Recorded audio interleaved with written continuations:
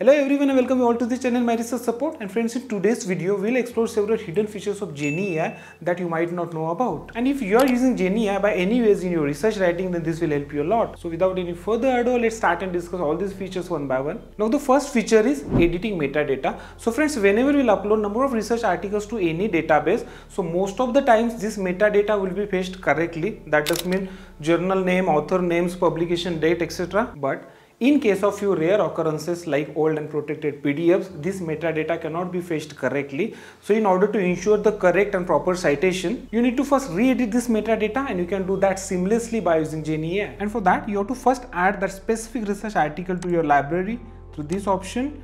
So once you do that, then you have to click on that specific research article and then you have to click on this edit option and then very easily you can edit this metadata content type, title, access date, publication details, etc. You can also have options to add DOI URL and then after you edit this metadata, you can click on save. Now the second feature is about citation. So Jenni AI has recently upgraded and added 1700 plus more new citation styles and you can apply or replace easily any of these styles in a single click. Now let us say you have added all the required research articles to your library. Then you can just click on documents. You can open the specific document you are working on let us say this is the document and then you have to click on the setting icon where under the citation style you can find 1700 plus new citation styles. You can select the required citation style. You can see this according to this Harvard style this in-text citation is added. At the same time the related list of references is generated here. So similarly within a single click you can change the citation style. Let us say this is the citation style I want. So simultaneously the entire list of references along with in-text citation is updated. Now let's talk about the third feature which is creating your own collection. So let us say if you're working on multiple research projects and for every research project you have some set of research articles or references that you need to use then you can do that very easily by using Jenni AI and for that under your library you have to click on collections and then you have to click on this icon to create new collection. You can rename this let us say research paper 5 then you can click on this and then you can add any related research PDFs by clicking on add sources. You have to select that specific source and then open. So in this way you can add multiple research PDFs under your personalized collection. And then you can have option to refer to this specific collection while providing citations and interacting with PDFs. So after collection the next feature is auto cite and citation recency. To access these features you have to first click on this setting icon.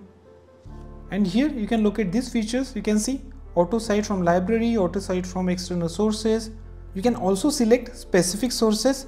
As we already discussed you have created your personalized collection so you can select this research paper file so that you can auto cite only the research pdfs uploaded under research paper 5 and then this is citation recency filter so you can enable this. And then under this feature, you can set specific publication year. Let us say I need to cite the research articles those are published since 2023. And now the next feature is multi-source PDF chat. So interacting with PDF, this feature you might have observed on different platforms, but you will get a lot of flexibility here under this Jenni AI. Now let us say you need to interact with this specific research article, then you need to click on open PDF.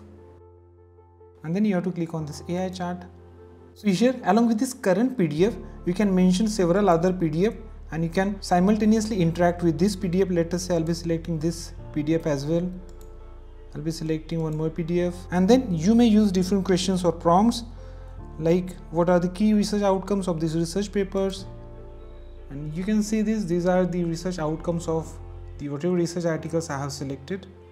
So along with interacting with multiple PDFs you have several other options. You can click on this and you may select other sources. Like if you want to interact with web research pdfs you have uploaded in the library your personalized collection sources etc so along with all these features, let's quickly go through remaining few key features. So here you can also find this AI chat feature means while writing your document, if you want to use or interact with different sources, multi PDFs, then also you can do that from here. And additionally within your writing, if you want to insert specific image, table or code block, then also you can do that and then once you finish writing and editing this document you can click on publish and you can publish your document to create read only version of your document to share to reviewers or co-authors Now let us talk about smart citation. So let us say you have DOI number of the research document that you need to cite.